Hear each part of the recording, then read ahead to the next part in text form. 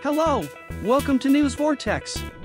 BMC Defense is preparing to deliver the Altay tank, which has been renewed and reached the mass production stage, to the Turkish Armed Forces for tests on April 23. Developments in Turkey's defense industry are making waves in the world. The Altay tank project is also known as one of these forces. The Altay tank, whose project was first prepared in March 2007 and on which work has been carried out until this time, has started to bear fruit at the end of the last period. BMC Executive Board member and senior executive Murat Yalçıntaş talked about the latest developments in the defense industry projects produced at the tank pallet factory in Arifiye, Sakarya, including the Altay tank project. Speaking to TRT Haber, BMC CEO Yalçıntaş said the following regarding the delivery date. We will deliver the first new generation Altay tank to the Turkish Armed Forces on April 23, 2023. We have conducted very challenging tests. We have developed the platform with the data we obtained from the tests. Now we will give two new generation Altay to the Turkish Armed Forces. They will also conduct their own tests. Afterwards, if they say to us, you can start mass production, we will immediately start mass production, and we will start mass production of the new generation Altay tanks in Ankara as quickly as possible using all the means at our disposal. We do not think that the tests at the TAF will take too long. In 2025, we will start producing the Altay with the Korean Power Group and immediately deliver it to the Turkish Armed Forces. We know that one of the most curious topics is the indigenous power pack to be integrated into the Altay tank. The prototypes for the indigenous power pack have been completed. If there is no major setback, we will produce new Altay tanks with our indigenous power pack in 2026 and deliver them to the Turkish Armed Forces. As of this date, both the engine and transmission will appear on the Altay indigenously. Stating that the Turkish defense industry has recently been followed all over the world and that there are demands, Yalçıntaş shared the information that there is a very serious demand for the Altay tank from abroad. Speaking about exports,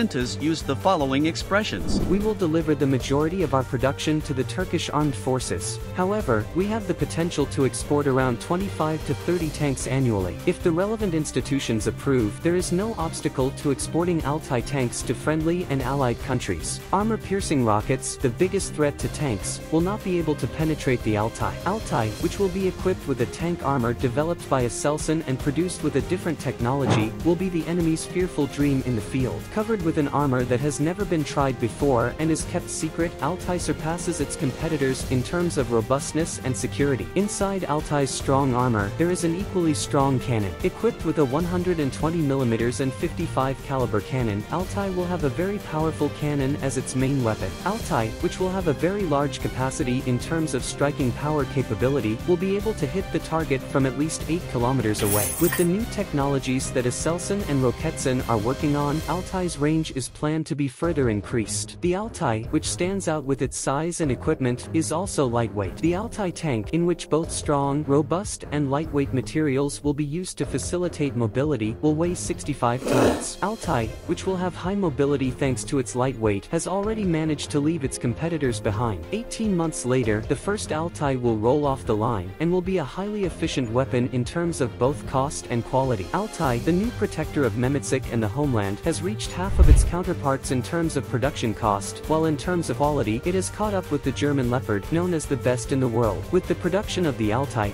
Turkey will declare its independence in this field as well. Altay, which is Turkey's national tank, is competing head-to-head -head with the German Leopard with its technical features and equipment, although it has not yet entered mass production. Altay, which is planned to reach a capacity of 750 units per year when it enters mass production, has also attracted the attention of world defense authorities. Here is how And Leopard compare. ALTAY crew for main weapon 120mm 55 caliber smoothbore engine power 1500 horsepower cost estimated $5.4 million top speed 70 kilometers. Leopard 2 crew for main armament 120mm smoothbore engine power 1500 horsepower cost $5.7 million 2007 top speed 72 kilometers.